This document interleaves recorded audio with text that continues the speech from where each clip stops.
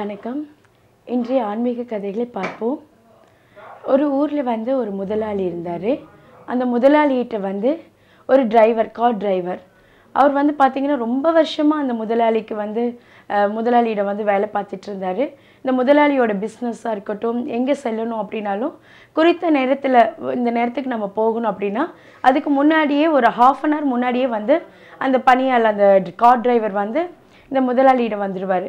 வந்து காரெல்லாம் சுத்தம் பண்ணி அது ரொம்ப அழகாக வந்து அந்த காரை வந்து கவனிக்கிறதா இருக்கட்டும் இந்த நேரத்துக்கு போகணுன்னா அதுக்கான டீசல் இதெல்லாமே ஃபில் பண்ணி அவருடைய வேலையை ரொம்ப சிறப்பாக செஞ்சிட்டு இருந்தார் அந்த டிரைவர் கார் டிரைவர் எப்படி கொஞ்ச நாள் போயிட்டுருக்கும்போது இந்த முதலாளிக்கு வந்து ஒரு பிஸ்னஸ் விஷயமா வந்து வெளிநாட்டுக்கு செல்ல வேண்டிய ஒரு நேரம் இருந்தது. அதுக்காக வே டிக்கெட் புக் பண்ணியிருக்கிறாரு விமான டிக்கெட் புக் பண்ணியிருக்கிறாரு.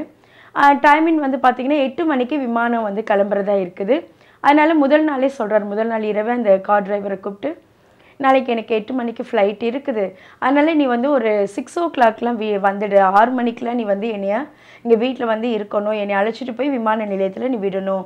அப்படின்னு சொல்லி இந்த முதலாளி வந்து அந்த கார் டிரைவர்கிட்ட சொல்கிறாரு உடனே இந்த கார் டிரைவரும் சரிங்க ஐயா நான் வந்து கண்டிப்பாக வந்து ஆறு மணிக்கு முன்னாடியே நான் ஒரு அஞ்சரை மணிக்கெலாம் நான் வந்து இங்கே இருப்பேன்.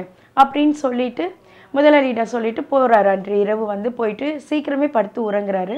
உறங்க போகும்போது முதலாளி சொன்னதை ஞாபகத்தில் வைத்துக்கொண்டு முதலாளி வந்து நம்மளை வந்து ஆறு மணிக்கு வீட்டில் இருக்கணும்னு சொன்னார். நம்ம அஞ்சரை மணிக்கே போய் அவர் முன்னாடி நின்று நல்ல பேர் வாங்கிடணும் அப்படின்னு எண்ணிக்கொண்டே அலாரம் வைக்கிறாரு. கடிகாரத்தை வந்து அலாரம் வைக்கிறாரு. ஆனால் அந்த அலாரம் வைக்கும்போது அந்த செல்லு தீந்து போயிருக்கிறது அவருக்கு தெரியல. வச்சுட்டு இவரும் வந்து படுத்துடுறாரு கா காலையில் விடிஞ்சிருது. ஐந்து மணி ஆகிறது ஆறு மணி ஆகிறது ஆறு ஆறு முப்பது ஆகிறது. அப்போ தான் எழுந்திருக்கிறார் அவர். ஆனால் அலாரம் அடிக்கவே இல்லை. ஏன்னா அலாரத்தில் செல்லு தீர்ந்துருக்கு அதை அவர் கவனிக்கலை. ஆறு ஆறு முப்பது ஆயிடுச்சு. இவர் எழுந்திரிச்சு பார்க்குறாரு இந்த கார் டிரைவர் ஐயோ நம்மளை வந்து முதலாளி வந்து அஞ்சரைக்கெலாம் நம்ம வரோம்னு சொல்லியிருந்தோமே. முதலாளிக்கு வந்து எட்டு மணிக்கே க- விமானம் விமான டிக்கெட்டு புக் பண்ணியிருக்கிறாரு. விமானத்துக்கு கூட்டிகிட்டு போகணுமே. என்ன பண்ணுறது அப்படின்னு சொல்லிட்டு அவசர அவசரமாக கிளம்பி வேக வேகமாக போகிறாரு முதலாளி அங்கே டென்ஷனாக இருக்கிறாரு. என்ன இவ்வளோ சீக்கிரம் பொறுப்பு இல்லாமல் இருக்கிறாரு இந்த கார் டிரைவர் நம்ம அவ்வளோ தூரம் சொல்லி அனுப்பி இப்படி பண்ணுறானே இவன்? அப்படின்னு சொல்லிட்டு அவர் மேலே ரொம்ப கோவமாக இருக்கிறாரு. வரட்டும் நம்ம பேசிக்கலாம் அப்படின்னு அந்த முதலாளி இருக்கிறாரு. இந்த கார் டிரைவரும் அங்கே உள்ளே வராரு. வந்தோடனே இந்த முதலாளி பயங்கர கோபமாக அவர் திட்டுறாரு.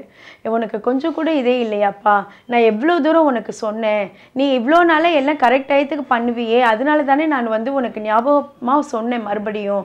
நீ இப்படி அசால்ட்டாக வந்திருக்கிறியே. எனக்கு எவ்வளோ பெரிய பிஸ்னஸ் கெட்டு போயிடும் தெரியுமா இதனால்?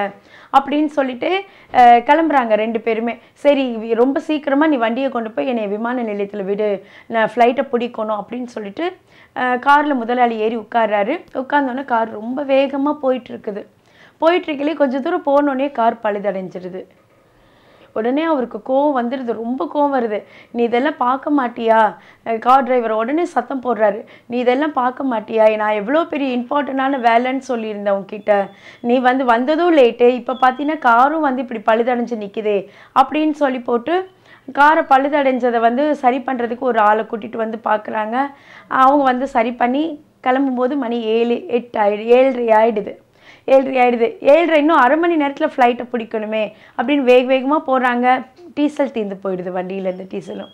உடனே இந்த முதலாளிக்கு ரொம்ப கோவம் வந்துருச்சு. சரி இன்னைக்கு என்னோட பிஸ்னஸே ஸ்பாயில் பண்ணிட்டியே. என்னோட வியாபாரத்தையே இன்னைக்கு எடுத்துட்டியேன்னு பயங்கரமாக திட்டுறாரு அந்த கார் டிரைவரை உன்னால் என்னோட பிஸ்னஸே போச்சு. நான் வந்து உனக்கு எவ்வளோ தூரம் சொல்லியிருந்தேன். நீ இவ்வளோ அசால்ட்டாக இருந்ததுனால தானே நீ தூங்கினதுனால தானே எல்லாமே போச்சு. நீ சரியான நேரத்தில் வந்திருந்தா என்னோடய பிஸ்னஸில் நான் வந்து நேரம் கரெக்ட் டயத்துக்கு போய் நான் கரெக்டாக என்னோடய பிஸ்னஸை பண்ணியிருப்பேன் உன்னால் எனக்கு எவ்வளோ பெரிய நஷ்டம் பார்த்தியா அப்படின்னு சொல்லி ரொம்ப திட்டுறாரு. திட்டிட்டு வீட்டுக்கு போகிறாரு இந்த கார் டிரைவரை வீட்டுக்கு அனுப்பிடுறாரு. நீ இங்கே அதை என் மூஞ்சிலே நீ முழிக்காத. நீ கிளம்பு அப்படின்னு சொல்லி அந்த டிரைவரை அனுப்பி விட்டுட்டு இவர் வீட்டுக்கு போகிறாரு வீட்டில் போய் உட்காந்து நியூஸ் செய்தியை பார்க்குறாரு அப்போது சொல்கிறாங்க இந்த எட்டு மணிக்கு சென்ற விமானம் வந்து திடீர்னு ஒரு விபத்துக்குள்ளானது அப்படின்னு சொல்லி இந்த செய்தியில் அந்த நியூஸை பார்க்குறாரு இந்த முதலாளி.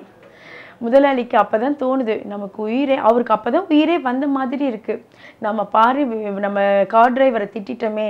நம்ம கரெக்டான நேரத்தில் சரியான நேரத்தில் அந்த விமானத்தில் ஏறி போயிருந்தா இதனால் நம்ம உயிரே இழந்திருக்க நேரி நேரிருந்திருக்குமே. நமக்கு பிஸ்னஸ் தானே போயிடுச்சுன்னு சொல்லி அந்த டிரைவரை நம்ம ரொம்ப திட்டிட்டோமே. அவனால தான் இப்போ என் உயிர் காப்பாற்றப்பட்டிருக்கிறதுன்னு சொல்லிட்டு வேக வேகமாக ஒரு அந்த டிரைவர் வீட்டுக்கு போகிறாரு போயிட்டு டிரைவர் பார்க்குறாரு நம்மளை வந்து எதுக்கு டிரைவ் முதலாளி வீட்டில் தான் திட்டினார் அங்கே தான் திட்டினார். இப்போ வீட்லேயும் வந்து திட்ட வந்திருக்கிறாரோன்னு அப்படியே பார்த்துன்னு இருக்கார். பரிதாபமாக பார்க்குறாரு முதலாளியை. முதலாளி சொல்கிறார் என் உயிரையே நீ காப்பாற்றிட்ட உனக்கு நான் ரொம்ப நன்றி கடமைப்பட்டிருக்கிறேன். சரி நீ வா வீட்டுக்கு வான்னு சொல்லிட்டு அந்த முதலாளி வந்து அந்த கார் டிரைவரை கூப்பிட்றாரு. இந்த கதையிலேருந்து நமக்கு என்ன தெரியுது அப்படின்னா நமக்கு வந்து ஒரு விஷயம் நடக்கலை சரியான நேரத்தில் நடக்கலை அப்படின்னா நம்ம வந்து அவசரப்படுறோம். இந்த விஷயம் நமக்கு நடக்கலையே அப்படின்லாம் நம்ம வந்து நினைக்கிறோம். ஸோ அந்த ஒரு நேரத்தில் வந்து நடக்கக்கூடிய விஷயங்கள்னால ஏதோ ஒரு பெரிய விளைவு ஏற்படக்கூடியதாக இருக்கிறதுனால தான் அந்த விஷயங்கள் வந்து தடைப்பட்டு இருக்கும். ஸோ இதை நம்ம வந்து நிறைய பேர் நம்ம உணர்றது கிடையாது. அதே மாதிரி நமக்கு சில விஷயங்கள் நடக்கலை அப்படின்னா நம்ம அதுலேயே வந்து நம்ம மனசை விட்டுடுறோம் ஸோ மீண்டும் முயற்சி செய்து நம்ம அதிலிருந்து வெற்றி அடையணும் அப்படின்ற ஒரு கருத்தும் ஒரு விஷயம் நமக்கு நடக்கலை அப்படின்னா இதை விட இன்னும் ஒரு பெரிய விஷயம் நமக்கு வாழ்க்கையில் நடக்க இருக்கக்கூடியது அப்படின்றதையும் நம்ம உணர்ந்து கொள்ள வேண்டும். இந்த கதையின் வாயிலாக. மீண்டும் நாளை ஒரு புதியதொரு கதையோடு சந்திப்போம். நன்றி.